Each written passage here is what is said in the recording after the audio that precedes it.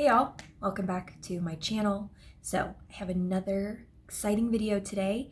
Um, this concealer has been super hyped up and I actually watched when um, Tati did her video on this, I watched it and then I actually got sent this in PR, which is pretty cool. So I thought, you know what, I'm gonna try it out. I'm gonna see what all the hype is about. I always think it's really interesting to see how my opinion stacks up to kind of the hype and products that maybe go viral or that are just really popular.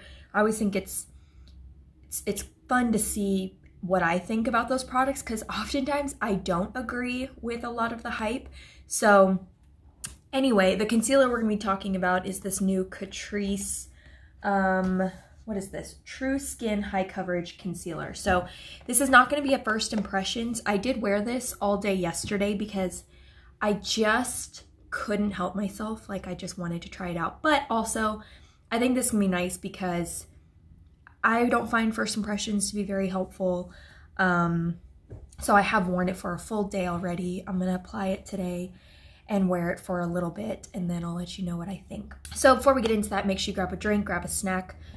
Got my yummy smoothie for the day and let's get into it. All right, so like I mentioned, this is the Catrice uh, True Skin High Cover Concealer. So I was super blessed and got the uh, PR package for this. So I have a ton of shades. I think this is all of the shades. Say 15 shades. Yeah, 15 shades. Retails for $7. It's oil-free, vegan, paraben-free, cruelty-free. This is available on Catrice's website and Amazon. Um, I think Ulta has completely removed all of their Catrice inventory. I think they have a few things on there, but I don't think Ulta is carrying Catrice anymore, but Amazon definitely has this concealer. They also have the foundation that I know is super hyped up as well.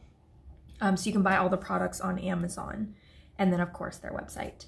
But yeah, so I wore this all day yesterday and I'm just gonna give you my initial thoughts and then we'll dive in. So this is full coverage, very, very full coverage.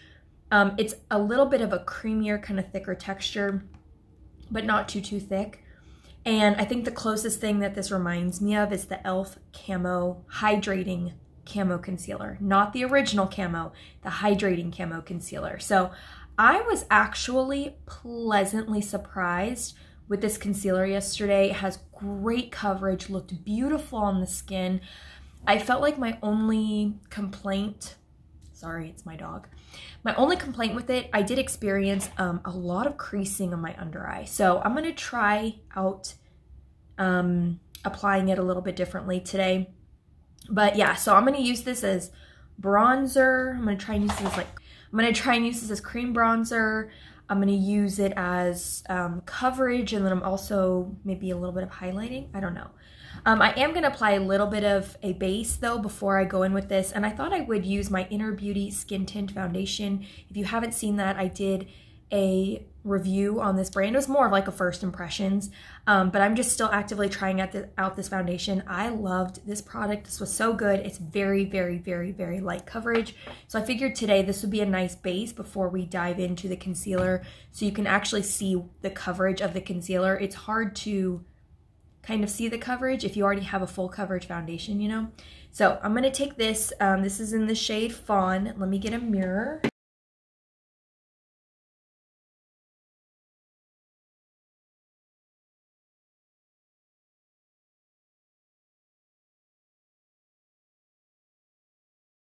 All right, so this tinted moisturizer skin tint is very, very, very sheer. I honestly don't have that much coverage, but I think just laying down a little bit of something uh, before going in this concealer, just wanted to put a little bit of something on my skin, but we should be able to, or you should be able to see the coverage when I apply the concealer. A really quick update though, on this skin tint, it oxidizes like crazy. I know I mentioned that in the video where I was testing it out, but yeah, it definitely oxidizes. So if you're not sure about what shade to get, I would kind of go on the lighter side. So anyway, let's get into the product that we're actually here to see. So like I mentioned, this is the True Skin High Cover Concealer. I'll go and insert swatches of all 15 shades here um, just so you can see what they look like. Um, and yesterday I did play around with a few different shades. Three shades that worked the best for me were 018 Cool Rose, 020 Warm Beige, and 032 Neutral Biscuit. So these are the three shades that worked for me. This is 018 Cool Rose. All right, so this is 020 Warm Beige. So 018 Cool Rose, 020 Warm Beige. And I just love the undertone of Neutral Biscuit. So those are the three shades. They actually look really light on my hand. Um, yeah, they worked, they worked really well for me. The next shade up, which was 033 Cool Almond. I think I actually did try this shade and it technically worked. Um, see like on my hand, I feel like that looks really good. Honestly, I feel like they all look the same on camera. And then I did want to swatch the darkest shade, which is, if I can get it out of the box. I already showed you the full range, but I'll go and just swatch it right now. So this is 094 Warm Cocoa. So this is the deepest shade. And then since we're doing it, might as well, let's swatch the lightest shade, which is 001 Neutral Swan. All right, so lightest shade, darkest shade. What do we think? I don't know. And then these are kind of all my shades. Hmm, I don't know if I want to do warm beige, warm beige or neutral biscuit. I'm going to start with warm beige, 020 warm beige. And if I want to add, I might do biscuit maybe on the face, but I'm going to do warm beige on my under eyes. Let me scooch y'all in. Okay. So again, 020 warm beige. See, I even think that's a little light. Maybe I will go in with neutral biscuit. A little goes a long way. And I loved blending it out with the sponge because it is so full coverage. The sponge, I don't know, when working with full coverage concealers, I just prefer a sponge. I like it just picks up any extra, never kind of minimizes the heaviness. Um, and another thing I found yesterday is if you let it sit on the skin, kind of dry down a little bit, you get a lot more coverage. That's pretty standard for a lot of concealers, but some concealers set down really quickly, so you can't really do this method. But with this concealer, you can definitely let it sit, kind of dry down a little bit, and you will get more coverage. But yeah, blends out super easily. I think it has fantastic coverage. I didn't apply that much and I am totally fine with that on my under eye. I think it looks really nice. So I'm gonna go and blend out this side.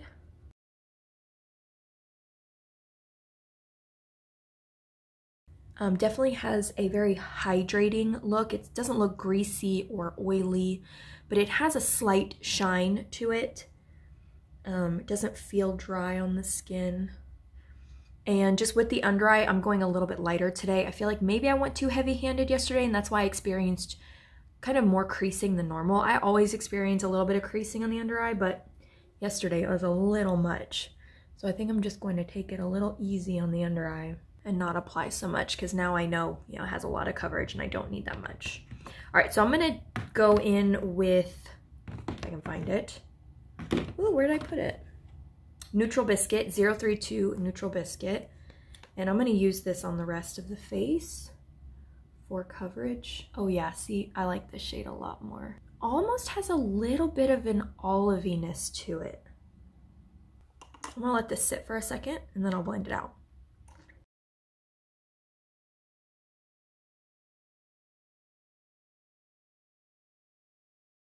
Yeah, yesterday I used a different foundation and I feel like because the foundation I used today, it oxidized so much, it's a little deeper. I think that's why these shades are looking a little bit different today. Because yesterday I felt like Neutral Biscuit was almost a little dark for me. But I think because this foundation oxidized, it's looking a little lighter on me today. But it's definitely working. But yeah, really pretty all over the face, really great coverage. Has a tiny bit, tiny bit of a dewiness to it but it's nothing overwhelming or I don't think those of y'all with oilier skin type will be bothered by it. All right, so let's just play around here. So that was 032 Neutral Biscuit. Let's dig into, ooh, what does this look like? So this is warm olive. Yeah, that's very olivey. That's gonna be too dark. Let's try, I feel like cool almond is gonna be too cool. I kind of just want to see what it looks like. See, this is Cool Almond, 033 Cool Almond, and I actually love that shade. I don't find that to be too cool. It's almost more of like a peachiness, which I think I like the best. So I think if I were to pick a shade right now that I like the most, it would be this cool almond shade. Yeah, it's more, more has more like a peachiness to it. Whereas the neutral biscuit, I feel like had a little bit more green in it, more olive. And again, it's all relative to the foundation I have underneath. It's not accentuating dryness or texture. All right, I like that. So I'm gonna use uh, one of these shades as bronzer and that'll also add some more coverage as well, which is nice. So you don't have to go super heavy with the concealer if you wanna use it as bronzer as well, because that'll, that'll help conceal if you have breakouts on your cheeks or redness or whatever. All right, so this is Neutral Fudge. It's very warm. This is the next shade, which is 090 Cool Espresso. Ooh, wow, look at the difference between those. So this was 060. Oh, did I miss some shades? So I have all 15 shades. I'm wondering if they're gonna fill in the shade gap at some point because that's a really big jump. 060 to 090 and it's a big jump in number so maybe they're gonna throw in some more shades in between those two at some point. All right, so 090 Cool Espresso. We'll use this as bronzer today. I'm gonna try and remove as much as possible. Now, if I wanted to play it safe, I would apply it to my hand, use a brush, apply it that way, but we're just gonna go in. It does blend out pretty easily, so I shouldn't have too many issues here. All right, let's start with that. Oh, that's nice. That blended out really nicely. Okay, so let's take some up here. Went a little heavy there. And uh, you could even mix this in with your normal concealer shade um, just to kind of soften it up a bit. I'm going to take my sponge here, just blend that out. The good thing is though, it blends out so nicely. You know what? This is also reminding me of the Hourglass Vanish Concealer. I think the finish, the coverage, like even the way it looks makes my kind of pores look. It reminds me a lot of the Hourglass Concealer. The Hourglass Concealer and the e.l.f. Hydrating Camo Concealer, which I think the Hourglass and e.l.f. concealers are actually quite similar. The e.l.f. one doesn't set down quite as much as the Hourglass one, but they're both pretty similar. And this is kind of reminding me of both of those as well. So that is the concealer for coverage. Bronzer, you could even go back in with your concealer shade and kind of clean up if you wanted to or highlight. Um, but what do we think? I think it looks beautiful. And this is kind of the same experience I had yesterday. Um, it wore really, really well. And I think because I applied a little bit less under my eyes, I'm not seeing as much creasing. I mean, I don't know if you can see that, but it definitely creases more than what I'm used to, more than other concealers that I use. I am gonna go ahead and set this down so that it stays in place. I'm just gonna use my Makeup Forever Ultra HD Micro Finishing Loose Powder. And then I'm just gonna go ahead and speed through the rest of my makeup. I will of course have all of the products that I used today listed in the description box.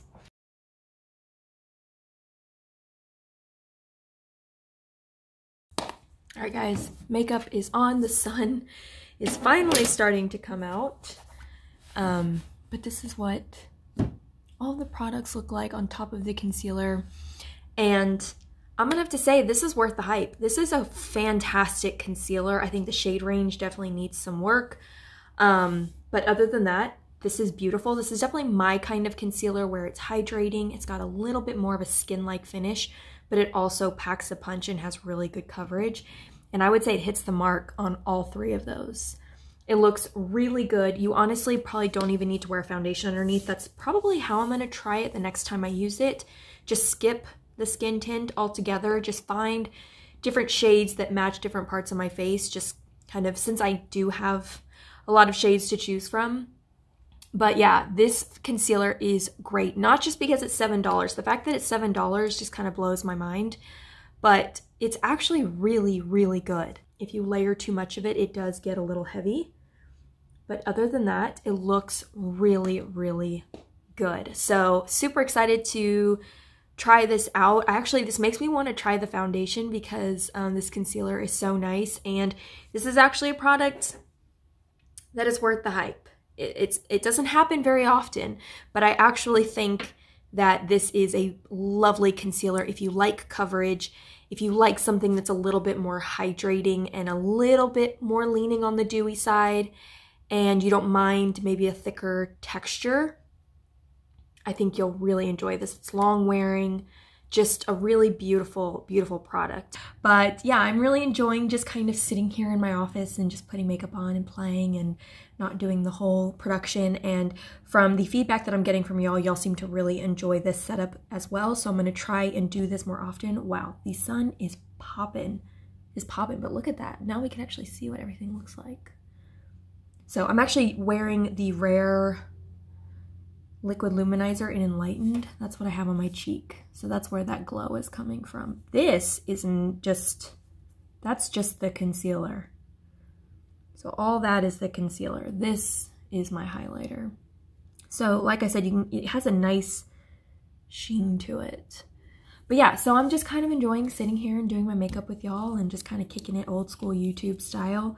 And um, we'll still do stuff in the studio, but I just like doing these more chill videos right here. Just kind of, you know, it's like you're in here with in my office and we're just chatting about makeup. We're just talking about what we like and we don't like. So anyway, thank you so much for hanging out with me in my office today. Remember, I love you, God loves you, and I'll see y'all in my next video. Bye guys.